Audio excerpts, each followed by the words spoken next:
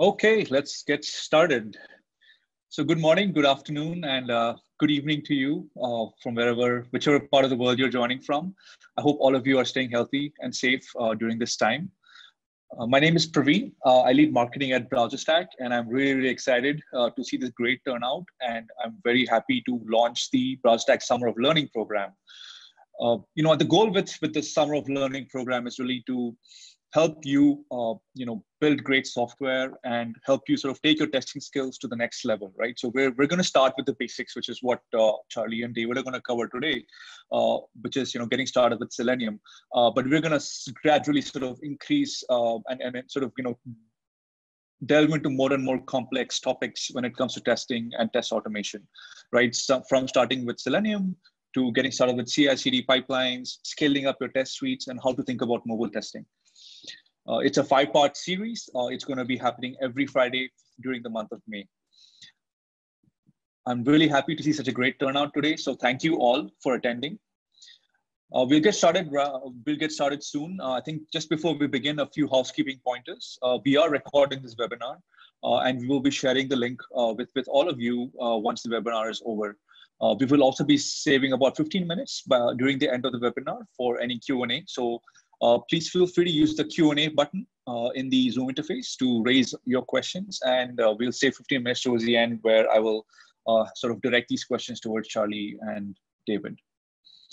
All right, great. So with that out of the way, uh, I'm going to just spend a couple of minutes introducing you to BrowserStack, uh, telling you a little bit about us and our products.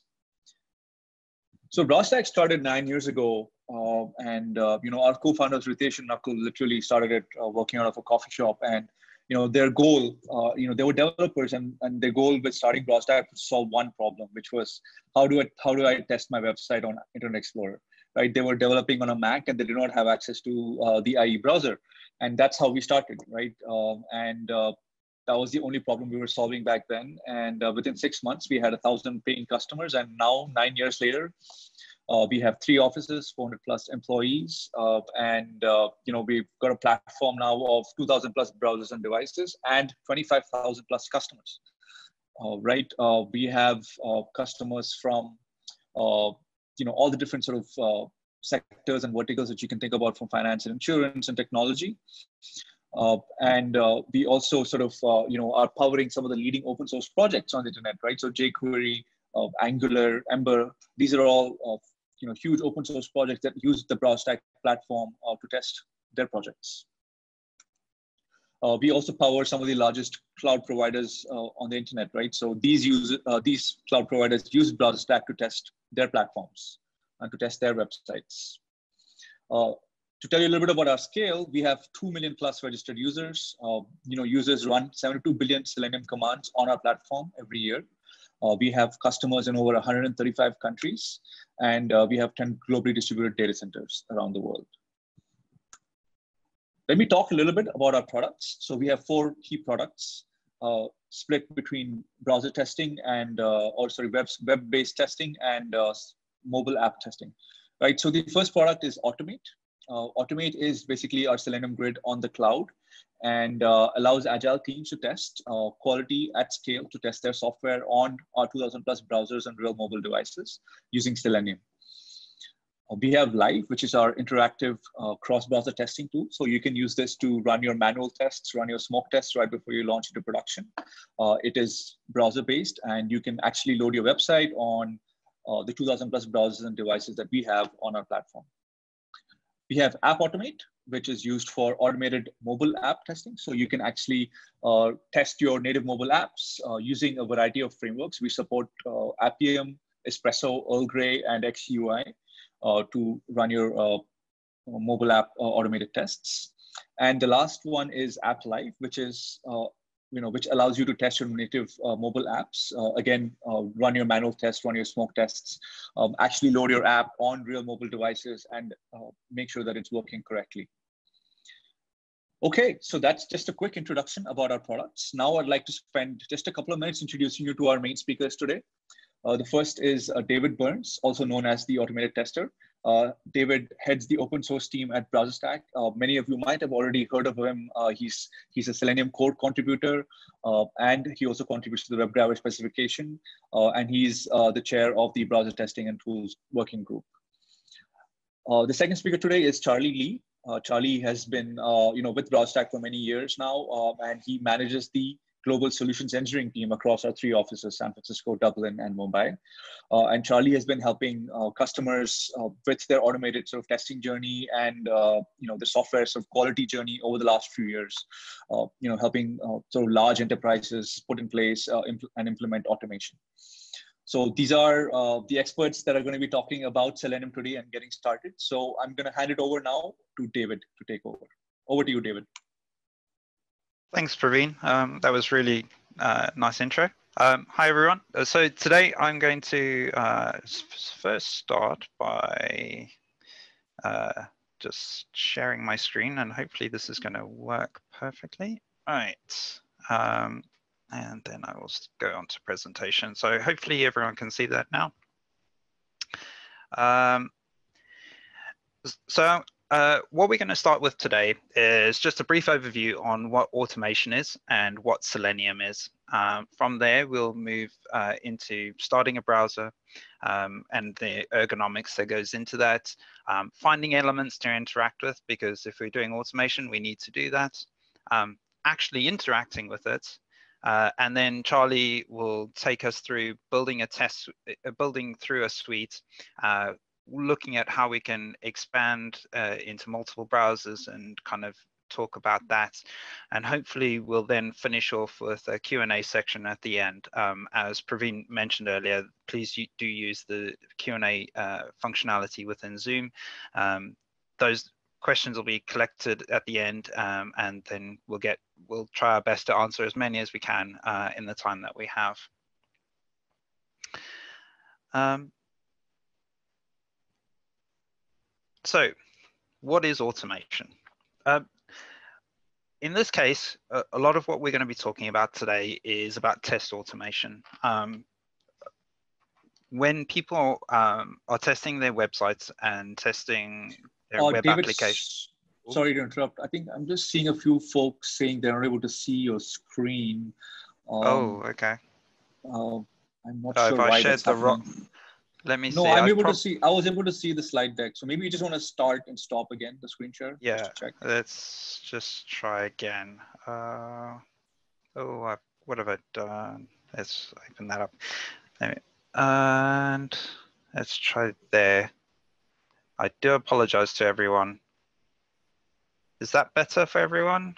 Yeah, I, I can see coming it, up. I think. Yeah.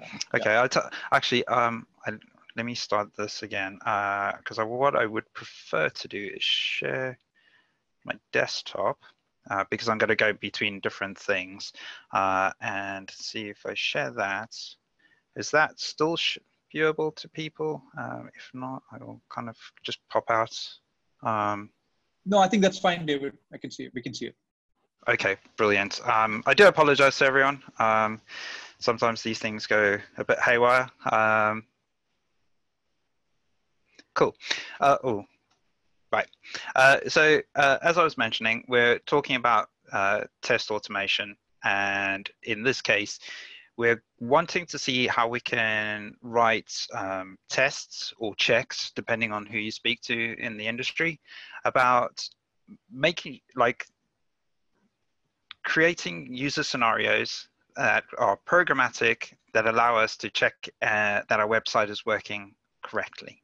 Uh, and this is fairly simple uh, because we're going to try use Selenium. Uh, and Selenium is kind of was for a very long time a de facto standard uh, in web automation is now a, um, a real uh, standard. Um, and that was work that I did with Simon Stewart that allows us to do this.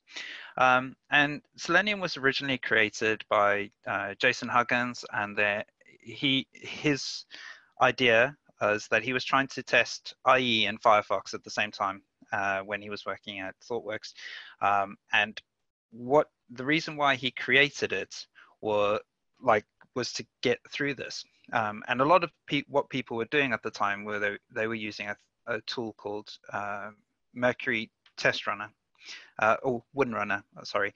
Uh, and the like the reason why selenium was chosen is that this is you give people selenium when they have mercury poisoning. So that's where the original came from a name came from um, and it's just stuck. And it's quite a good name. Um, some people pronounce it selenium i pronounce it selenium. Um, it's uh, each to their own. I kind of laugh at it as kind of a tomato tomato moment. Um, so let's start diving into um, what this actually looks like when we start writing tests. Um, so programmatically, um, I'm going to be using Python. Uh, Python's kind of my favorite language to write in, um, but um, Charlie later on will get into all the different languages that you can use uh, with Selenium. Uh, but a lot of my examples um, will be in Python, and when we um, after, after each episode, any examples will be going onto our GitHub repository so that you can start using them. Um, so from here, uh, I've like I've got the Selenium uh, and WebDriver uh, libraries and modules, Python modules that people can start using. Uh, Python, you have like in Java and everyone else, you have to import libraries that you need to use. Um, the first step that I'm going to do uh, is where it's got browser equals webdriver.firefox is that I need a browser to actually interact with. Uh, and what this does is that it will do a lot of the heavy lifting. It looks like a very simple bit of code, uh, but in that very simple bit of code, it starts up a browser, makes sure that everything's ready for you, uh, and that the browser is in a fit state to work with. Um, then the next line uh, is that it uh, tries to get a web page. Um, so the it's normally picked from that. Uh, it's picked from it, like it uses get mostly because like you get a web page or you post it and it's using like HTTP uh, verbs. So I'm going to um, move to uh, a quick example uh, so that you can see it running. Uh, I'm a big fan of kind of showing people thing uh, code running. Um, so if we do a quick clear, um, this is pretty much the same code that I had up uh, on the slide. Um, I hope everyone can see this. Uh, and we're going to just. Hey, uh, David, sorry, uh, just a quick one. Can we just pause one second? I'm just still getting some comments about people not able to see. Um, oh, dear. I'm not sure why this is happening. Um,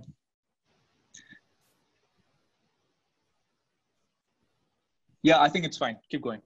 Yeah, I think it's just maybe an intermittent issue for a few folks. Okay. Keep going. yeah. Sorry, folks, if my uh, internet is kind of playing up, um, but uh, do remember it will be recorded for everyone to see later on. Um, so we've got a, a, our imports at the top. Uh, this one we'll be using a future example. Uh, and here we start up Firefox and I've got a local uh, page uh, that I'm going to navigate to um, and we're going to try see how that goes. And so in this case, I'm just, um, because I'm using Python, um, I also have a, my favorite Python test runner is one called PyTest. Uh, and so to easily run it, uh, I would just go PyTest um, episode one. And we want an example test. Um, and it, what this is going to do is that it's going to start up the browser and navigate to that page, and it's going to stop um, and act like it's finished. Um, so let's see how that goes.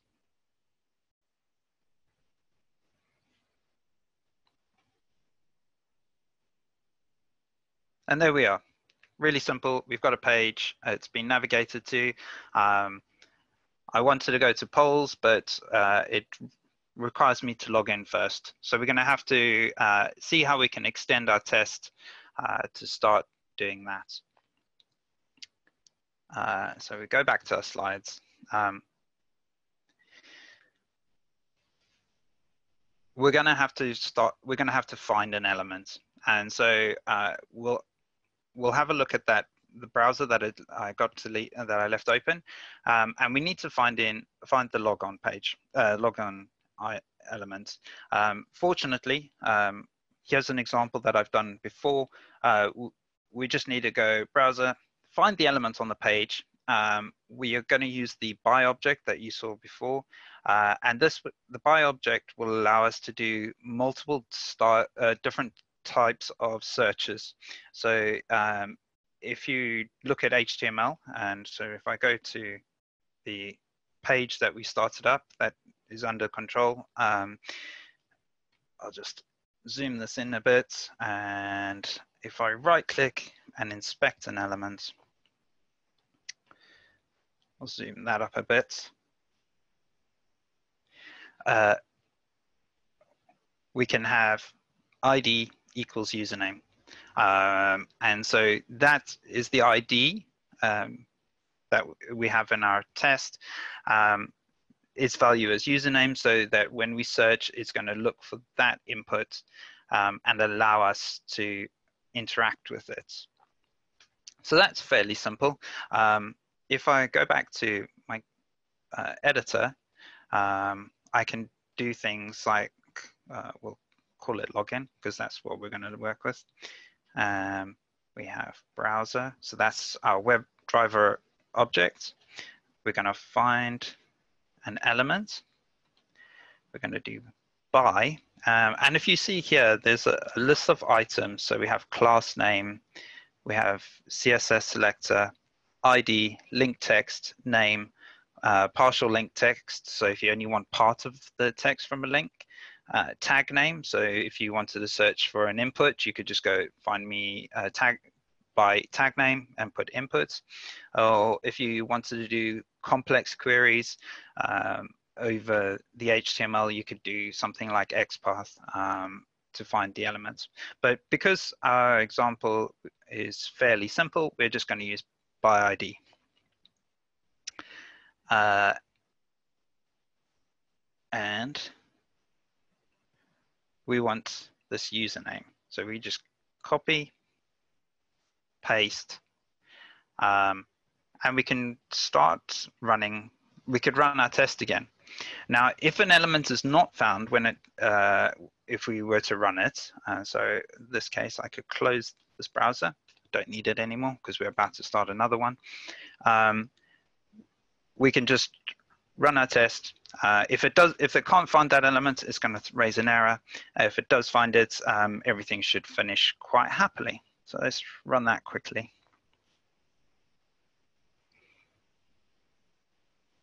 Let's go back to the editor. Everything worked. Hooray!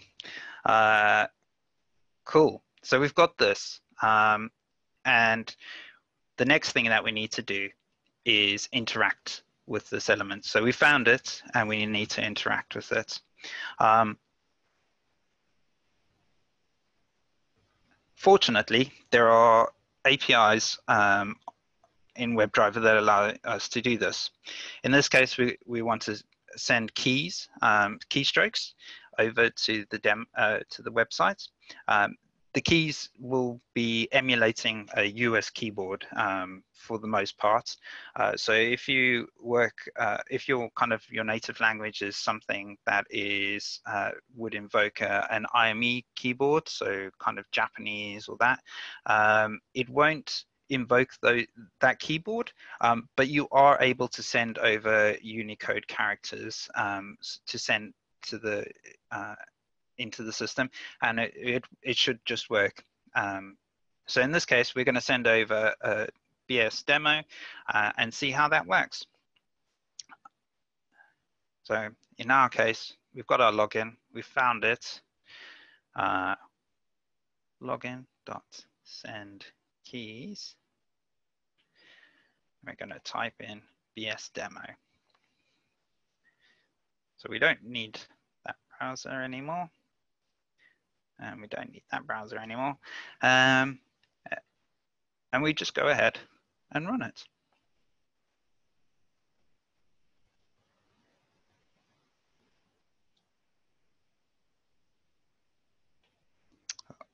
Oh dear.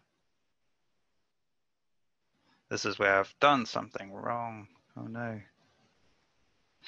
Uh,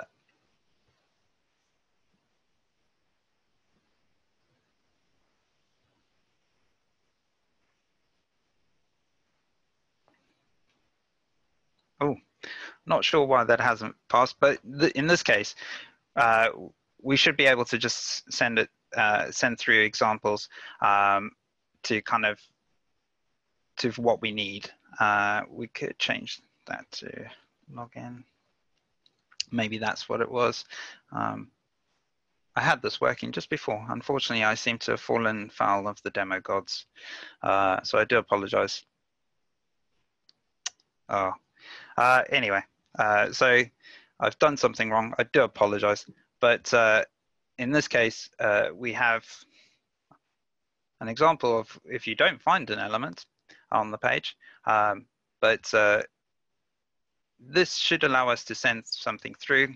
We're also able to do uh, something like login.click uh, and build up any other interactions that we want to do. So we go back to our slides.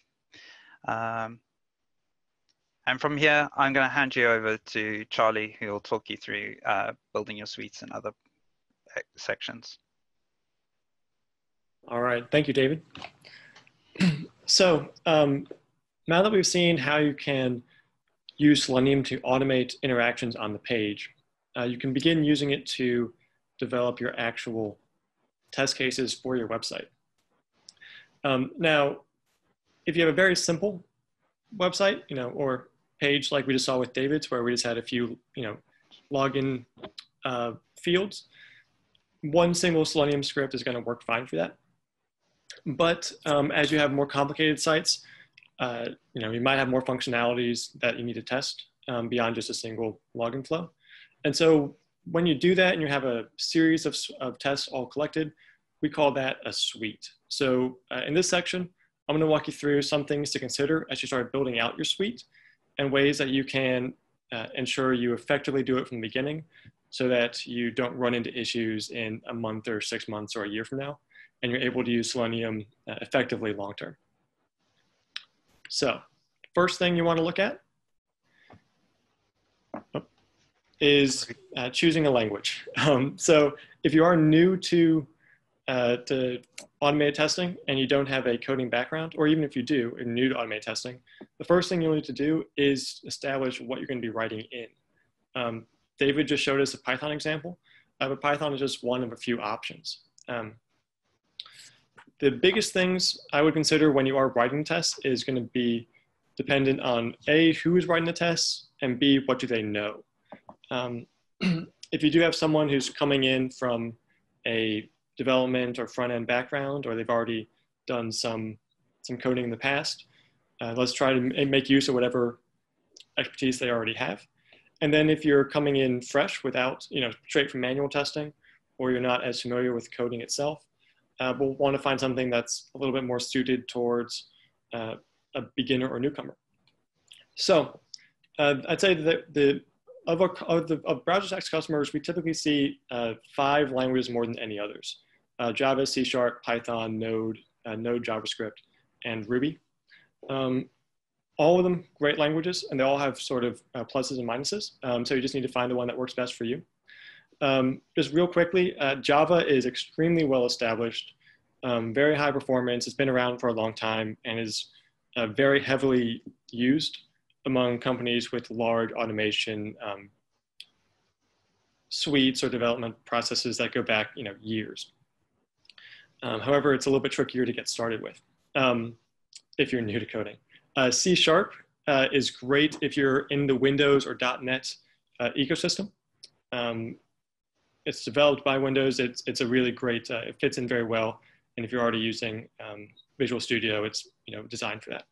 Uh, Python, like David just showed us, is a great language um, generally, um, and particularly good if you're new to coding altogether.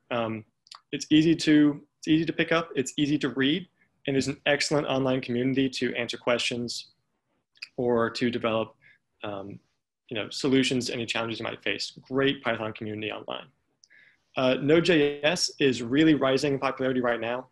Um, if you do have, if you're coming from any kind of front end background um, or any kind of on-page JavaScript, that'll be an easy switch. Um, with Node.js, it is very highly customizable, customizable, and you can do anything in the world with uh, with with Node.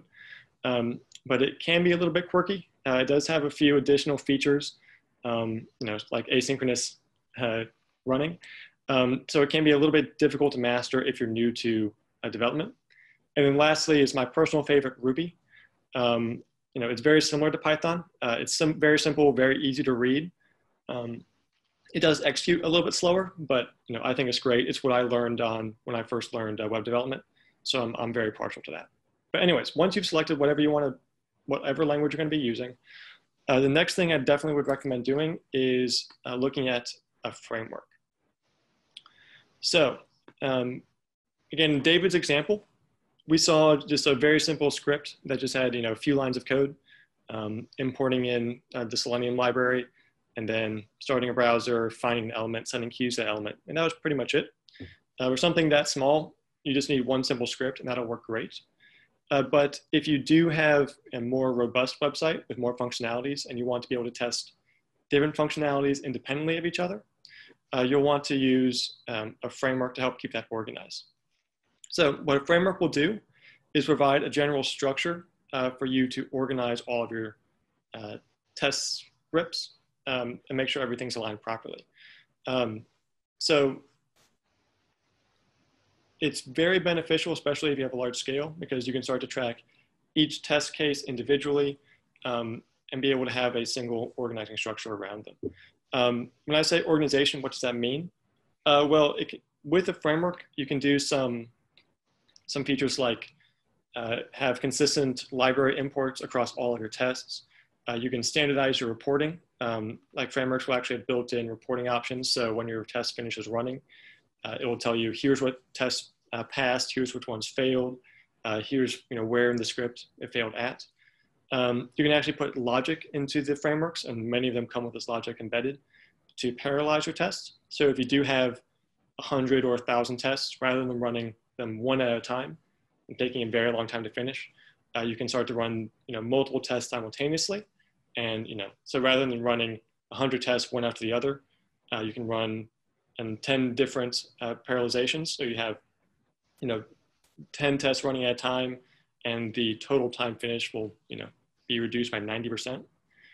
Um, and then lastly, uh, a framework, certain frameworks do provide some abstraction as well um, that make your code a little bit easier to read and a little bit more intuitive if someone's coming into it cold. Um, this is more common in the uh, frameworks um, that are designed to be easy to read. Uh, so a lot of the Node.js frameworks or some of the other uh, BDD um, aspects, which we can talk about. Um, but so an abstraction might be um, an option or you know something else with the page object model. Uh, you might be able to say, whenever I'm going to log into my website, I know I need to find the login uh, field and or the username field and the password field, and then I need to click submit. So I have to do that's what six or seven lines of code that you have to repeat multiple times throughout many different scripts. Um, using a framework uh, will actually let you uh, bundle all that together into a single action. Um, so rather than having to do all six or seven of those things, you can just say login, and then that login um, action will then complete all of those individual components. Um, that way, if you are looking at your test a little bit later on, it becomes very apparent what you're doing. You're not looking at the raw Selenium code. You're one step uh, abstracted from it, and you just see the end result of, of, the, of the test, and it becomes more aligned to what you need the test to do rather than what the code needs to look like. Um, just some quick examples, uh, because if you are, again, new to automation, uh, the idea of a framework, you know, you may not know where to start. Um, these are just some frameworks we do see very frequently. Um, many of them are, are language specific. Um, but with Java, you know, TestNG or JUnit, um, NUnit SpecFlow for C, C Sharp. Uh, uh, David mentioned earlier he was using PyTest with Python, which is why we had that little green dot appear when the test finished. Uh, WebDriver IO and Node.js is um, a really is a very hot um, framework right now with a lot of built-in functionality. and then Ruby has a few other options. Um, I've also included Cucumber as well, uh, which can work on any different language and is a BDD framework or behavior driven development framework uh, that actually lets you write your tests um, and include an English or a, like an English spoken language a description for each different test. Uh, so you can actually start to collaborate between you know the automated testers and the manual testers. So you can have everything in one format and keep your testing consistent across all of your different teams. Um, but then, you know, whichever, for each of these frameworks, we do have examples on the BrowserStack site, which we're more than happy to, uh, to send out to you. Um, but then whenever you are picking one of these, oh, sorry, real quick. Uh, when, whenever you are picking one, yeah, the big things to keep in mind are going to be uh, the supported language. You know, what do you want to test in? And then, you know, who's going to be using it? Um, either who's going to be contributing to it, such as with a Cucumber example, or, um, you know, the test results, are they going to developers? Are they going to design people or marketing? Uh, so you want to pick one that has the right reporting output as well. Okay. And then once you have you know, a simple setup going and you're able to run uh, the simple functionality, again, like that same login example we saw earlier, um, you may realize that your website has some more advanced uh, functionality that requires um, you know, more advanced inputs than just the, uh, you know, find an element, click on it, send text to it, things like that. Uh, so these are some of the more advanced things you can do with Selenium. Um, you know, the Actions API let you send you know, commands or actions to the driver that aren't tied to an element. Um, you know, like refresh a page something like that. Uh, the WebDriver waits um, allow you to start timing and synchronizing your Selenium scripts to align to your web page. Uh, so maybe you do have an option where you click a button and some action happens. It usually takes three or four seconds. Um, you can actually tell the script to wait for that period of time or to wait until a condition changes on the page before taking the next action. Uh, this just ensures a little bit more stability in your test so it doesn't attempt to move too quickly for itself. And there are a few different options, implicit, explicit, fluent. Um, you know, the exact uh, benefits of each of those is going to vary. Um, uh, but you know that's you know certainly a more advanced feature. Uh, the JavaScript executor is um, you know very commonly used, which actually lets you uh, take Selenium and inject JavaScript directly into the page and execute it uh, there. Um, so if you have any kind of single page applications um, where you want to trigger a specific event that's not triggerable via the UI, uh, this is a great way to do that. Um, additionally, you know, you can take and save screenshots locally. Uh, if you're doing any kind of visual regression, this is a, a, great way to do that, or any kind of visual testing. Uh, you can use Selenium to open up a page, take a screenshot, save it locally, move on to the next page, take a screenshot of that one, and develop a you know, good bank of screenshots that you can use either for comparison's sake or to, you know, just to verify that things are happening. Um, and Selenium does make that really, really easy to do. Uh, so you don't have to go in there and manually screenshot it yourself. Uh, recently, we've seen um, instances where a page has a pop-up that's technically not part of the website, so you couldn't use, you know, HTML uh, selectors or CSS selectors to interact with it because it's part of the browser. And Selenium actually lets you handle or you know, accept or dismiss those automatically. Uh, you might need to switch between multiple different tabs in your browser um, or an iframe versus the base page, that'd be a window handle. Um, and then the last thing that gets into a, you know, some really cool functionality is the Selenium grid. Um, and so we saw earlier in David's example that he was able to run his, you know, his script uh, locally and it would spin up a Firefox browser in his own computer. So he was actually seeing that on his laptop. Um, that was, was great, but there are some scale limitations to doing that. Um, obviously, if you try to launch up 100 different Firefox browsers at once, uh, your computer might start to slow down, maybe not have the CPU to handle that. Or maybe you need to test on a browser that's not supported on your computer. Maybe you don't have Internet Explorer or Edge installed since you're using Mac. Um, in that case, you'll have to connect to some other machine in order to test on it. Um, and that's what Selenium Grid can do for you. Uh, so in this case, rather than having it open up the browser in your own window or in your own computer, uh, you'll connect to a different computer that also has Selenium on it. and then your browser will open up on that other computer over there. Um, the big advantage, obviously, you can have other browsers that aren't on your computer available over there. You can connect up to multiple different uh, remote machines. So if you want to run 100 at a time, rather than having to run them all on a single instance or a single computer, you can connect to 100 different machines and run one on each of those. That way each test can continue running you know, independently. Um, or let's say you have a distributed team or you've got some consistency or consolidation across your entire organization. Um, you can have one infrastructure you set up and then everyone in the company or everyone on your, on your team can connect to it remotely and you aren't uh, restricted or dealing with, you know, oh, well, it works on my computer, but not his.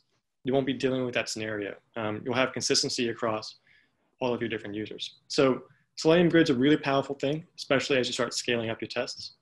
Um, and it is a great um, benefit when you start dealing with the need for cross-browser testing. So with the multiple browsers, um, this gets at the heart of cross-browser testing, again, which is a, a big BrowserStack uh, feature. Um, over the past 20 years, uh, the number of browsers that are available has really grown a lot. Um, there are the there have been changes to which the officially supported browsers, you know, things like um, Internet Explorer versus Safari. Uh, but we've also seen a rise in open source browsers, you know, Firefox, thanks David, and um, you know, Google Chrome and Opera and a few others. Um, and so that's happened in the last 20 years. And then in the last 10, we've seen the same thing happen with devices, where people are starting to use browsers on um, devices with different operating systems, uh, different screen resolutions, different screen sizes, different hardware components. Um, and so there's been a lot more, there have been a, an increased number of ways for people to actually access your website, which makes it harder to ensure your site actually works properly for each of them. So to give an example of how a website might behave differently on different browsers, we have this uh, magical div, um, which was found by Martin Cuppens um, a few years ago, and he uh, published it on Twitter. Um, but this uh, div, HTML um, element with this CSS, uh, renders extremely differently across those five big desktop browsers. So this exact same div, if you load it up in Chrome versus Safari versus IE, is going to display like this, and there's no consistency. Um, so if you do have, you know, even if your site is, you know, you think it works properly on all different browsers, it is important to check because as soon as CSS gets beyond just simple colors, um, you might run into a scenario like this. And this is a superficial example, um, or not superficial, but it's a formatting example. There are ways for um, your functional, your, your, website's functions to actually behave differently as well. Uh, so different browsers are gonna have different web APIs that you might hook into, all of which might be supported or not supported depending on which browser you're actually running into, or which, you're, which browser you're running your website on or accessing it from. Um, and then to add one other layer um, of complexity to this general fragmentation is, especially with the uh, open source browsers, they've started to get updated very, very regularly. Um, so in addition to just having uh, Firefox and Chrome and IE or Edge, um, they're now starting to get updated on a regular basis. Firefox and Chrome and now Edge are being updated on a monthly basis. So every single month, there is a new version available, and not everyone is good about updating that. Um, I know I'm certainly not the best of it. I always have Chrome giving me that uh, red arrow or icon in the corner telling me I need to update it. But with you know new releases come new possibilities for you know for er for errors. They might introduce new web APIs or modifications that break what was working. Um, and staying on top of you know a different browser, or at least three different browsers every single month suddenly turns into a lot to deal with. Um, so it's important to find a tool or a system that actually lets you access uh, all those different browsers without dealing with the headache of maintaining that infrastructure. Um, and that's where we come into um, a cloud grid. So if you're running a Selenium grid locally or within your own organization, it works great, but requires a lot of um, maintenance. Always having to update browser versions, add new ones, switch out uh, mobile devices, add new mobile devices whenever they're released every few months. um, and eventually that just becomes a lot to handle. Uh, if you're using a cloud grid instead, um, again, like BrowserStack, uh, suddenly you're outsourcing that maintenance and that infrastructure to you know, a remote uh, organization that handles all that for you. Um, so by doing that, you'll immediately have access to all the different OSs, browsers, and devices. I know with uh, BrowserStack, we offer back to Windows XP, so you can even test on really old uh, computers you may not be able to set up yourself anymore. You don't have you don't have to set it up or maintain it. Um, and whenever new releases, particularly with phones, come out, they're automatically plugged in, and you won't have to source those phones, make sure everything works on them, add them to your uh, to your to your environment, or worry if you know so and so might drop it, or that phone got lost, or it's in a drawer, the battery died, or the the charger is no longer working. You don't have to worry about any of those um, edge cases, which is just a that's a big headache removed. Um, in addition to just having the access to the different browsers or OSs or devices, um, there are some additional benefits as well. Uh, most cloud providers are going to be adding um, additional logging options. So, you know, you'll increase options for, uh, you might have a video recording of the test as it happened. You might have additional logging um, for the JavaScript console or things like that that can make your debugging a little bit easier. So you can actually enhance your debugging even though you're using the same test scripts you might run locally. And uh, lastly, again, consistent across teams is really important. Um, that was already a benefit of using the Selenium grid internally. Um, but as teams get more distributed, um, it becomes even harder to do, especially when you start going across country or uh, across countries, um, like BrowserStack is, or if you are dealing with um, you know cases like what the current environment where people start to work from home more readily and don't have access to uh, you know something on network. Um, so it's just a great way to ensure consistency across all of your different teams. Um, and have whatever access you need whenever you need it. And um, with BrowserStack in particular, uh, I am going to be going into, I'm going to be leading our session next week where we'll go into more depth on how to use BrowserStack. Um, so you know, once you have your first script up and running, how to adapt it to fit to BrowserStack and run there and take advantage of all of the other options we have available. So that's something to keep in mind and hope we can see all of you there same time next week too. And that covers you know, all the things we want to talk about today. Um, just to quickly recap, um, David walked us through how to get started with Selenium. Um, what is automation? Uh, how do you start, start up a session? Uh, how do you find elements, interact with them? And then we also talked a little bit about you know, things to consider when you start building out your suite and the challenges and benefits of that browser support and some of the tools you might use to do it like BrowserStack.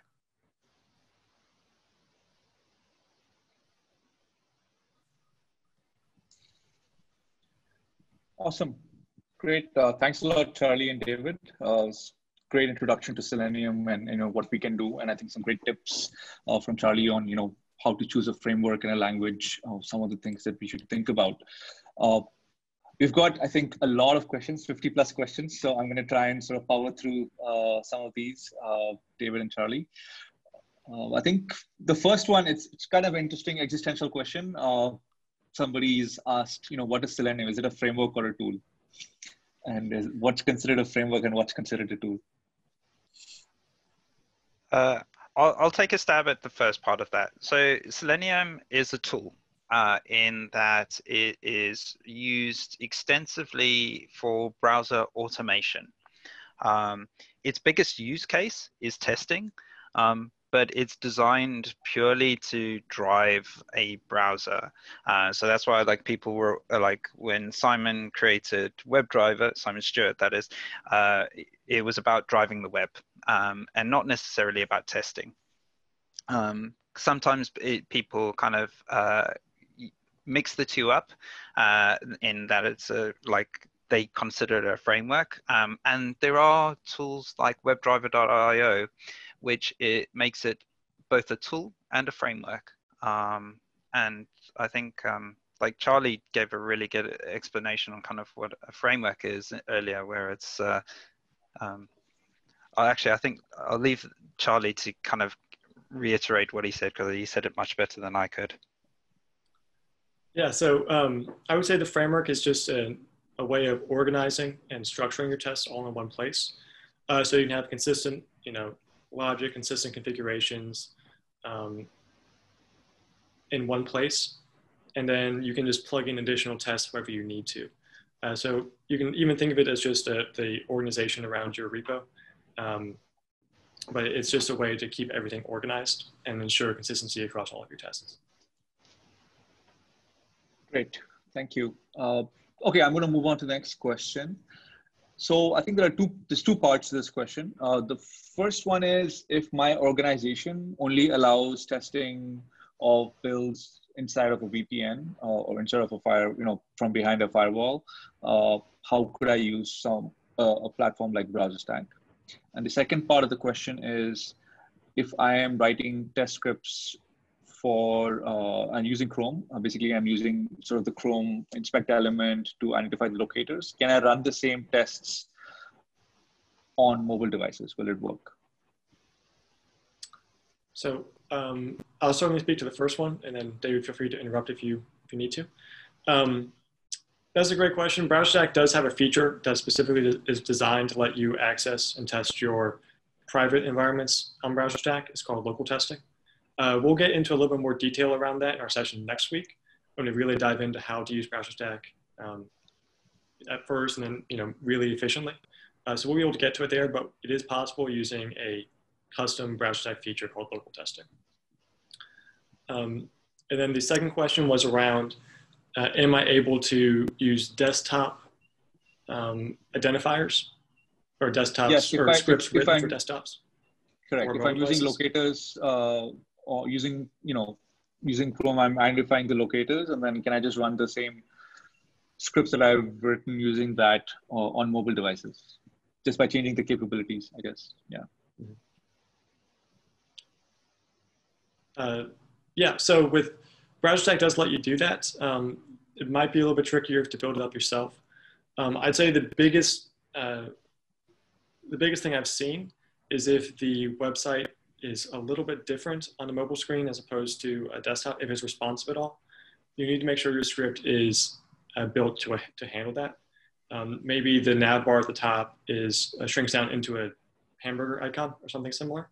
Uh, there might be cases like that you need to consider. So with BrowserStack, you certainly can take the same test and run it on a mobile device um, just by switching the capabilities. Uh, but there are some modifications you may need to make to make sure you run successfully there.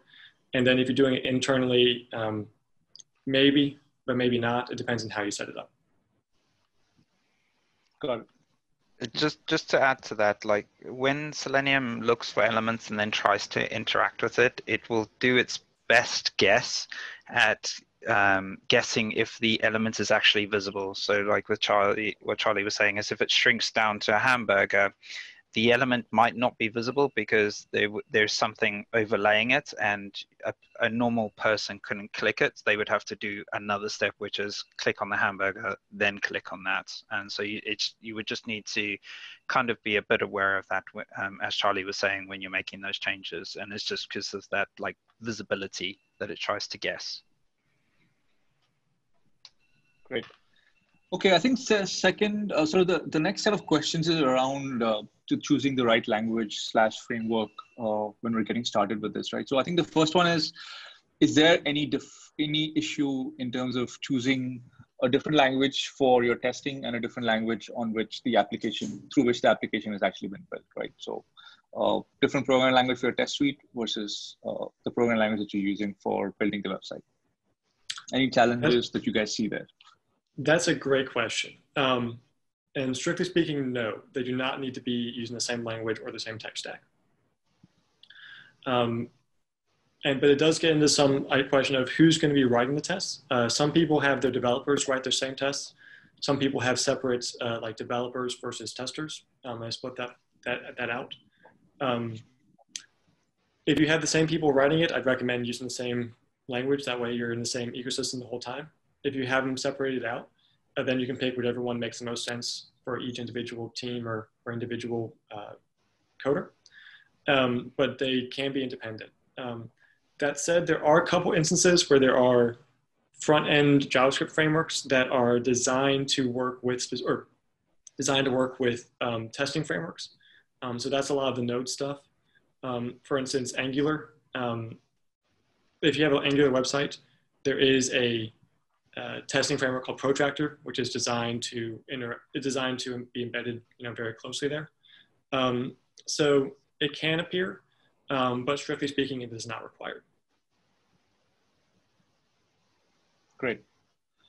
I think just a follow-up question on frameworks. So, uh, you know, I think uh, Cucumber BDD is quite popular. I think people, uh, a few people have asked, you know, how how successful or or you know how how how much use have you seen uh, of Cucumber BDD on on the BrowserStack platform, uh, and sort any general recommendations there? Got it. Um, so we, a lot of people do use it. Um, I think it, if uh, with Cucumber in particular, um, there can be some challenges. It's because Cucumber um, and the way it, it parses like lang uh, verbal language into computer language um, doesn't always update at the same cadence that the, you know, they sort of independent go independently from Cucumber versus uh, the different frameworks that you're using or the different um, language or drivers you might be using.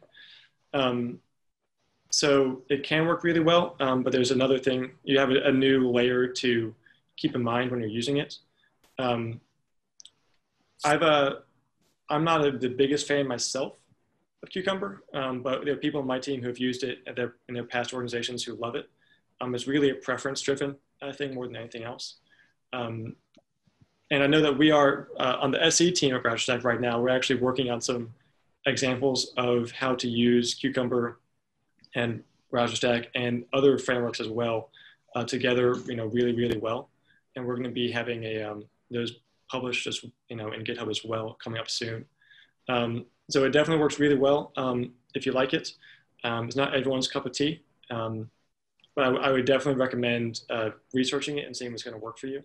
And if you do have um, both manual and automated testers working together, um, then it's definitely something to consider because you can write the same test uh, cases that both teams can use together. So um, depending on your use case, it might be a great fit. So it's def- sure. definitely worth investigating.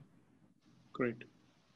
Great, thanks, thanks, Charlie. I think so. Also, the next question is very interesting. So I think uh, you know, Charlie, when you talked about Selenium uh, and the Selenium grid uh, and sort of helping teams work uh, collaborate and you know be able to scale their test suites to run on hundreds of browsers right i think uh, one of the listeners has a question around how do you use how do you eliminate this issue of hey it's working on my machine when you're using the selenium grid right uh, because it's not your machine right it's running remotely uh, and you know maybe you can talk about how you've seen this work at you know some of the other sort of large companies that you worked on uh, rolling rolling out test automation uh, where you have teams of developers working together uh, on the test suites?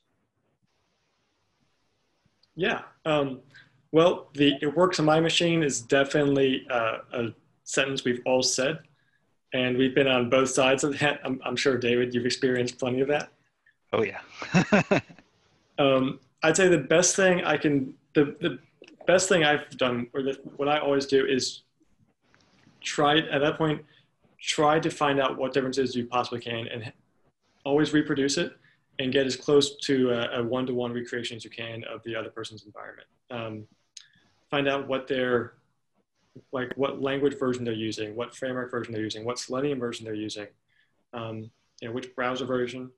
Um, you might find, you know, if it gets really complicated, you might find weird stuff in different like paths or something like that. Um, the only real way to, to get to the bottom of that is just to find what the differences between your environments are and then gradually try to remove the differences until the same thing happens. Got it. I, and just to add to that, like making sure you have um, like good uh, workspace uh, cleanliness and hygiene um, when setting up your like local environment so that if you check out a brand new uh, check out your repository into a brand new directory uh, it should work exactly the same on everyone's machine at the same time and so kind of making sure that like it, it, with um, Python or Ruby or kind of Java uh, or .NET, like they've all got their own little like tools. So like NuGet, NuGet for .NET or uh, pip for Python or um, Ruby gems, like making sure everyone's on the same version and kind of making sure that's always set up and is always maintained. That stops um, ideally stops those scenarios and then uh, setting up your CI system to kind of use those tools, use like Ruby gems or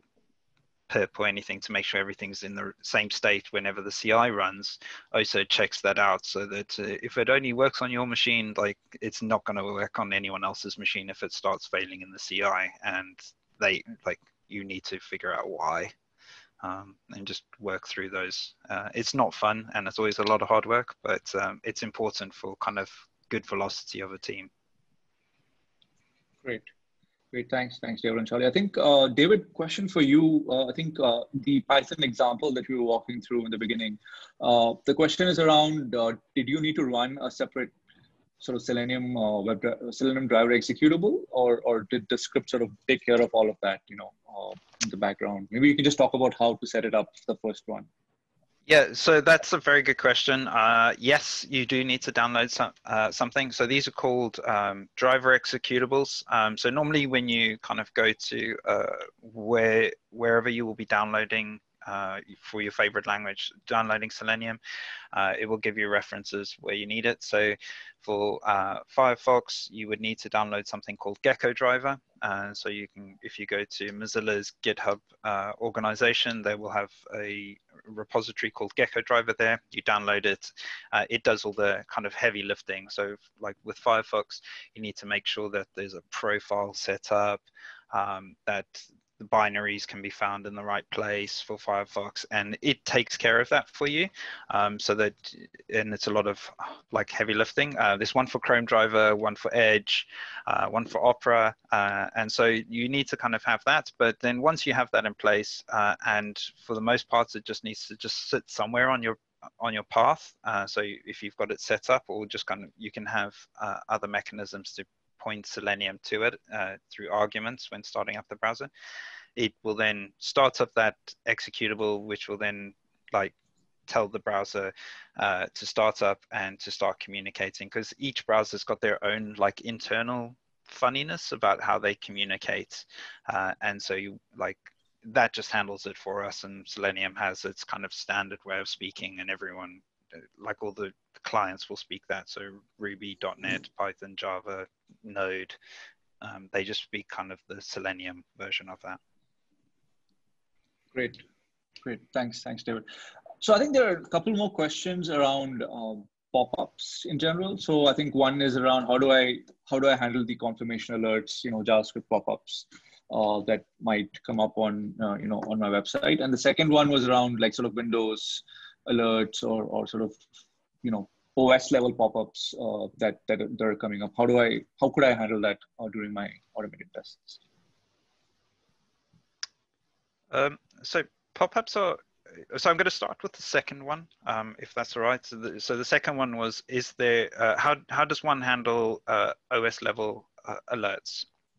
Unfortunately, Selenium cannot handle those alerts at all um, we are only in control of the operating system uh, of the browser, not the operating system, and so we can't interact with things like that. Um, there are security reasons why we can't do that anyway, um, and so like um,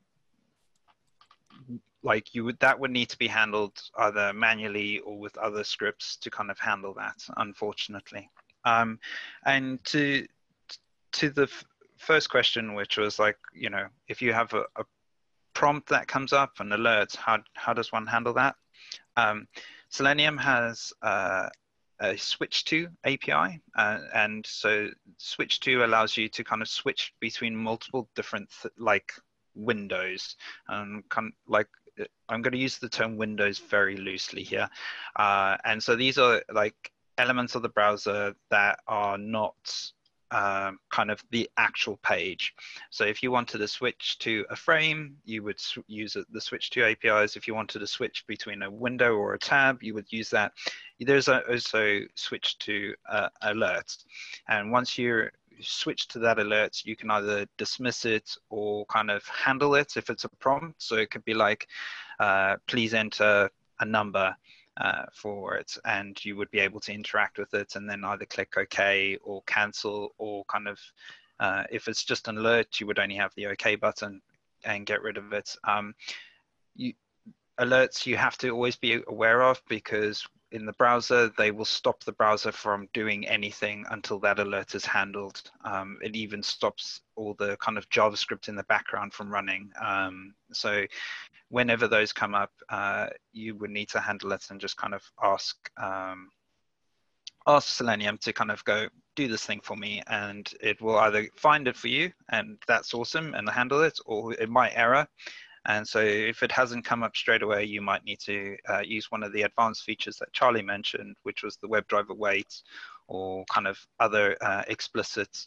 um, waiting techniques to find for that uh, alert to pop up. Great. Great. Thanks. Thanks, David. I think we are uh, officially out of time. So thank you, David and Charlie, for taking the time uh, to walk us through this. Uh, and, uh, you know, guys, uh, we will basically be covering the second episode uh, where, you know, Charlie will be talking about BrowserStack. So please do make sure, you, you know, stay tuned for that. That's going to be next Friday on the 8th of May. So looking forward to seeing all of you there again. and we will share the recording of this webinar with uh, you know, and we'll try to address some of the questions. I know we haven't had time to answer. I think the 80 plus questions we've got today. So we try to address wow. some of these questions and follow it up in a in a blog post. So thank you all for attending. Thank you, uh, Charlie and David, uh, for helping us out and, and for hosting this webinar. Really appreciate it. Thank you all for great. coming. Thank you Thanks all. Everyone. Have a great weekend. Bye.